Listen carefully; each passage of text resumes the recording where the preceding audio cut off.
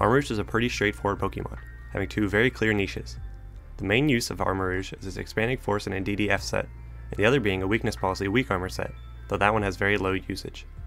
Its most solid option is as a partner to Indeedee, as Armarouge has an incredibly respectable 125 special attack, and expanding force doubles in power in Psychic Terrain, also becoming a spread move. Armarouge can be pretty slow with its speed stat of 75, allowing it to operate under Trick Room, and it usually uses a Psychic or Grass Tera typing. Psychic for pure damage output, and Grass for defensive capability. And a moveset of Expanding Force, Armor Cannon, and Heat Wave, with some other fourth move, most commonly Protect. With the addition of Trick Room and Indeedee, this Armarouge set became much stronger since it didn't have to use Trick Room itself anymore. This type of Armarouge typically uses the Life Orb item for big damage output and the ability to switch moves. A move Armarouge can run, especially now that Indeedee has Trick Room, is Wide Guard, since people didn't seem to feel any negative effect from having to run Trick Room.